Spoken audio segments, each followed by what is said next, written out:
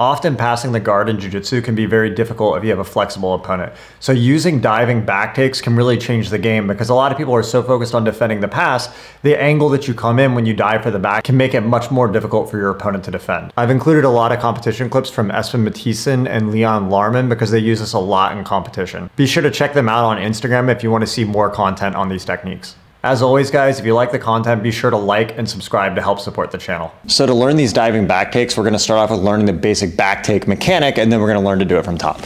So the first mechanic we're gonna use is a bolo mechanic, and in my opinion, this is one of the simplest, easiest ones to use. So I'm gonna tilt my opponent's knee inward, we're gonna grab the hip, and the key here is I wanna get my shin over my opponent's knee line. This is like the Mikey and Nick Salz and Daniel Myra way of doing the bolo. So I'm gonna get my shin over their thigh, I grab the hip here, I'm gonna tuck and invert my head all the way through.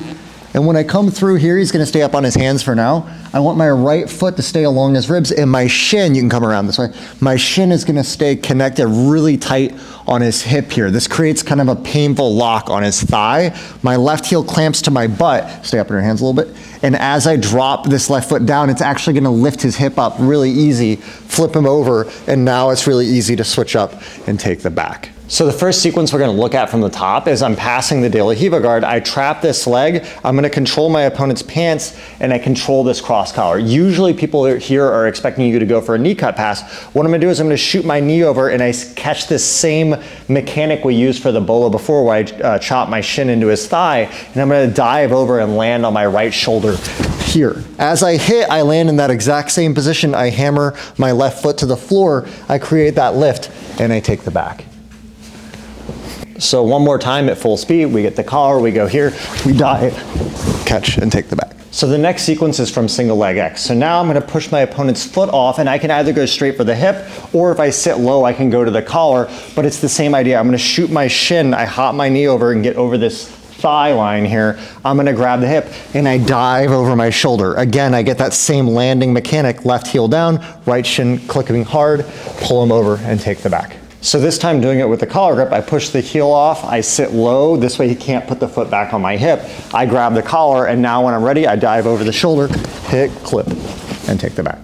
So the next mechanic to understand is the basic crab ride mechanic. So go ahead and stand up. So the crab ride basically is built off the idea if he turns around here, uh, is like a basic back take where you come around and you have both butterfly hooks. We grab the belt or the pants, I pull him down and I take the back. We're just gonna be doing it while we're inverted. So he's on his back here. And in this situation, I get the same exact hooks in, just like that position. I have both grips on the hip. This will come about in a lot of different ways. So we're gonna be here. And now the thing is, if I threw this leg over to try to take the back, he can just scoot out the half guard, right? Go back. But if I have him sitting on my hip, go around the other side. If I have him sitting on my thigh when I do this, here, you see how he's on my thigh. When I throw this over, I can actually sit him up and take the back. So normally when you do a crab ride, what happens is the bottom side thigh is not there. So when I go over with this right leg, I'm now putting it in my lap on the top side. So as I invert through, he ends up on my lap on the other side. I throw this foot over and I can sit him up and take the back. So now we're gonna look at setting that up from the top.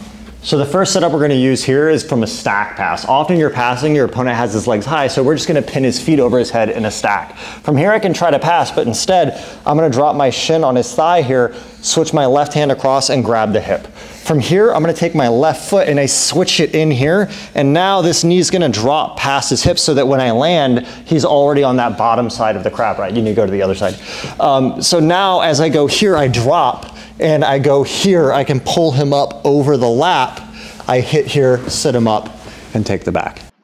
So one more time, full speed. I pin the feet over the head to go for the stack. I drop my right shin, switch the hand, throw the left foot in, drop, and take the back. So the next one's really useful versus a flexible guard. So sometimes my opponent's side tilted into the way I'm passing. So as I circle, he'll kind of follow and invert up here. So what I'm gonna do is I'm gonna shoot my cross knee instead of the same side knee to his shin here, or to his calf here, and now I'm gonna grab the hip, and my left shin, you need to go around that way, my left shin is gonna shoot over here. So I land in this position here, and see he's already landing on the lap like before, and now as I land, I can throw the heel over, sit him up, and take the back. So one more time, full speed, I start to circle around to pass, he starts to invert, I come around, I use the cross knee to pin his calf, I catch the hip, dive, and take the back.